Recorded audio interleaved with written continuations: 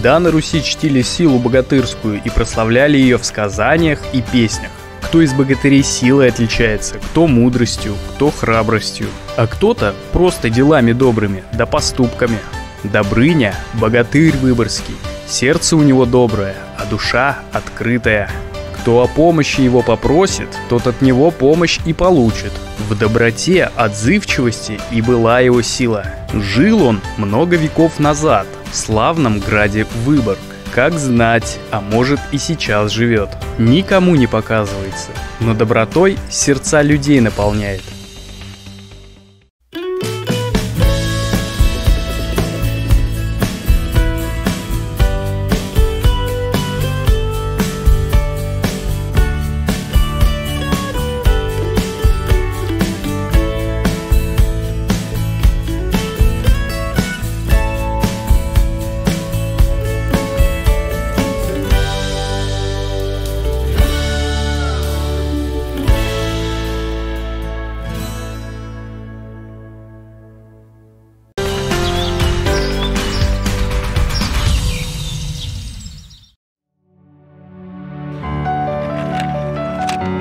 Меня зовут Никита, мне пять лет.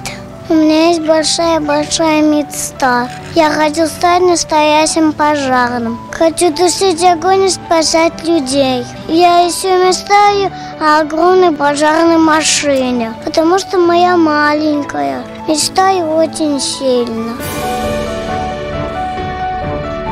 Мы живем в поселок Вещево, это бывший совхоз, вот деревня. Отсюда нам добираться 30 километров до дома. Еще от остановки идешь 20 лишних километров пешком. Я работаю на железном дорожном вокзале уборщицей. Он у меня один. Родила я в 40 лет. Больше никого нет, у меня один. Без труда машину эту вы узнаете по цвету. Красный цвет в машине главный, а зовут ее пожарный.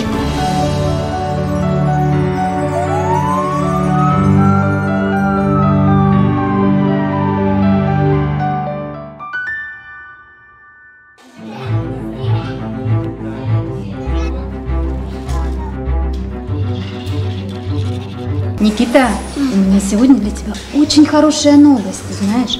Мне сегодня по телефону позвонил Добрыня. Он сказал, что ты же у нас хочешь быть пожарным. Да. И он для тебя приготовил сюрприз. Поездку в пожарную часть.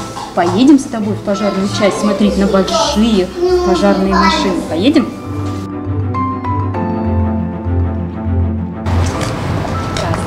Здравствуйте. Здравствуйте.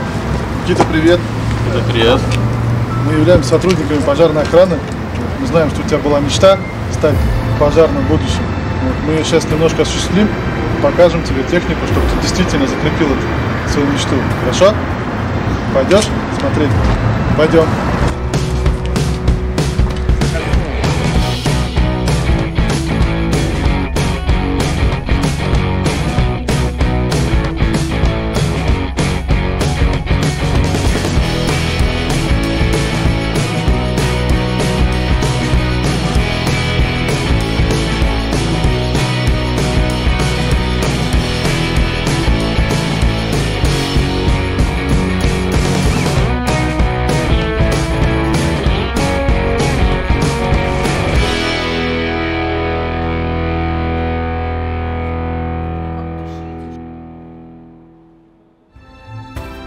Экскурсия у тебя была насыщенной, да? Чтобы у тебя еще раз также твоя мечта сбылась. Вот мы знаем, что ты мечтал о настоящей пожарной машине. Вот, смотри, здесь есть а, кнопочки, можешь понажимать. Оп, слышишь? Звуковой сигнал. Все работает, все это. Даже еще есть функция такая, может производить, смотри, тушение. Наливается туда вода, вот смотри, видишь, все почитаешь по инструкции. И будешь тушить сам, как настоящий пожарный. Я буду душить опять. Огонь, конечно.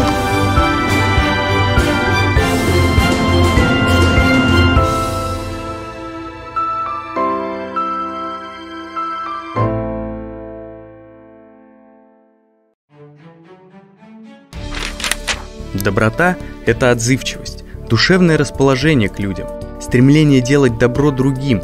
Доброта – это то, что совершается добровольно, бескорыстно, для всеобщей пользы и для своей пользы, а не во вред себе. Дать определение добра во все времена стремились многие мыслители, деятели культуры, политики, ученые. Доброта для души тоже, что здоровье для тела. Она незаметна, когда владеешь ею. И она дает успех во всяком деле, говорил великий русский писатель Лев Николаевич Толстой.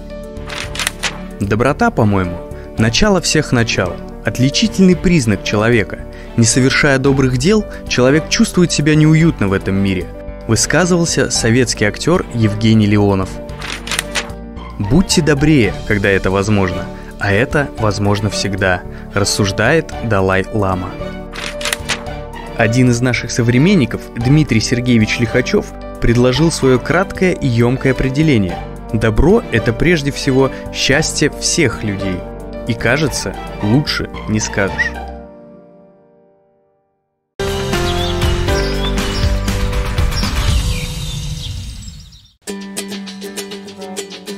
Она наши ноги.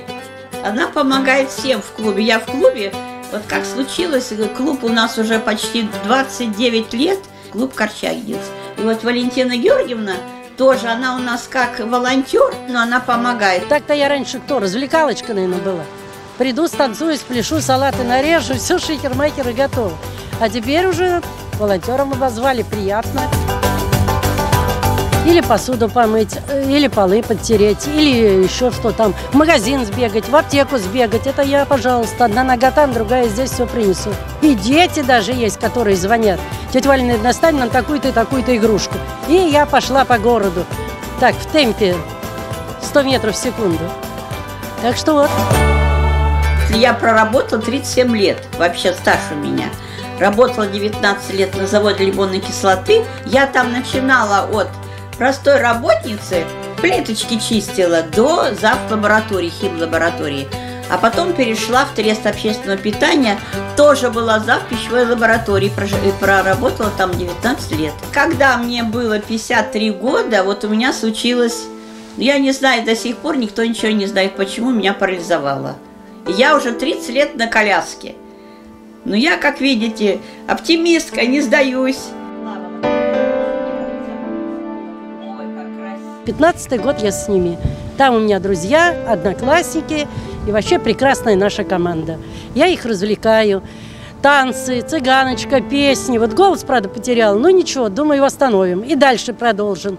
Я этим живу. Я не могу на месте сидеть. Ну, тяжело, понятно, что. Человек 30 лет на коляске. Вот это почти треть ну, половину жизни. Ну, я-то живу, я до 90 еще доживу, так что будет, будет треть. Делай добро и будешь жить вечно. Я вот делаю добро, мне в 10 раз больше добро отдается. Если человека внутри заложен кусочек любви и сердца хорошего, то он будет помогать вечно. Прямо с детства принесет тебе или игрушку, или конфету. И так до самой старости. Надо держаться, надо бороться за, за каждый день за каждый час. И спасибо, что вот такие люди есть, как Валентина Георгиевна, как много очень помогают мне людей. И дай Бог здоровья и вам, и всем-всем.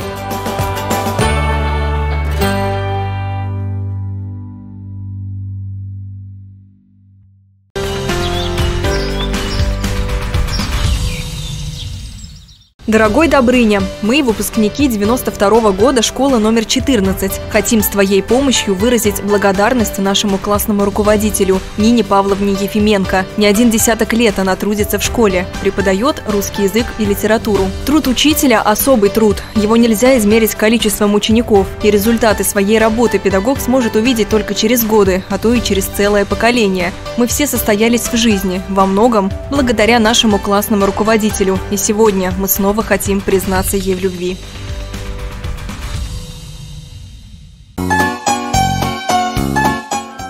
Дорогая Нина Павловна, поздравляю вас с Днем Учителя. Желаю вам здоровья чтобы ученики вас только радовали.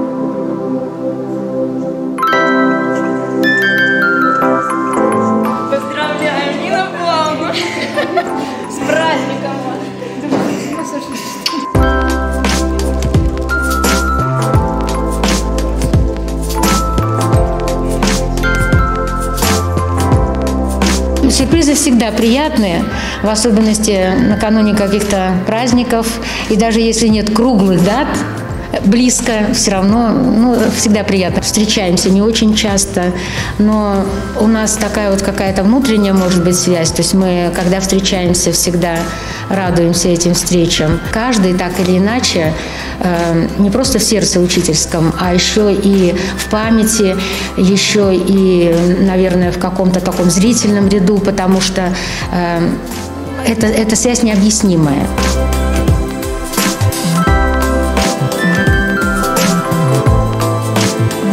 Как сегодня все мы увидели, она помнит нас.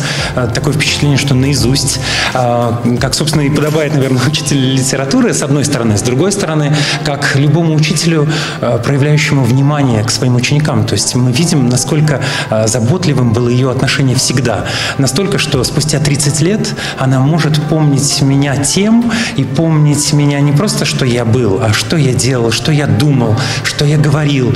Я этого уже не помню, а она помнит. С пятого класса нас взяла Нина Павловна, и мы так до одиннадцатого нас она и выпускала. Она позитивный человек и заинтересовывала нас. В принципе, как профессионал она молодец. И желание ее учить людей, оно до сих пор так и осталось.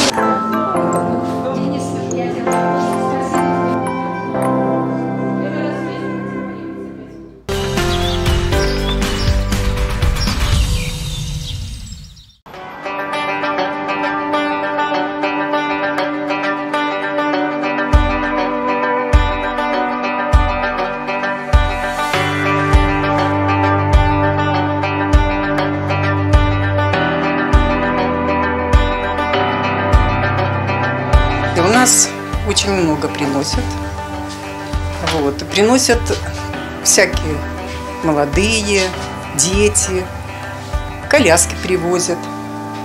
Церковь Ильинская помогает нам очень хорошо. Люди приходят, делают заявки, но это в основном у нас сейчас э, лежачие. В основном постельные они просят.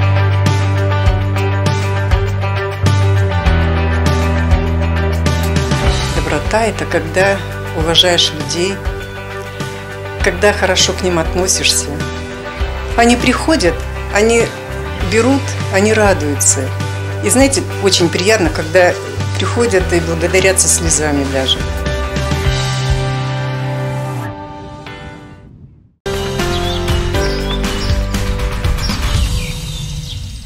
Про дефицит доброты я бы сказала, что я с этим сталкиваюсь на приемах, а, потому что очень часто люди приходят а, со своими бедами только потому, что им не с кем даже поделиться своим горем. Доброта а, – это практически врожденное, я так считаю, качество, вот, оно связано с эмпатией.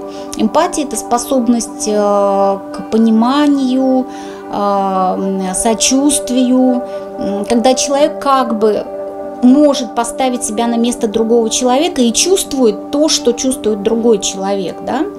Вот, а это э, очень трудно развиваемая функция. Для того, чтобы быть добрым, нужно иметь на это ресурс.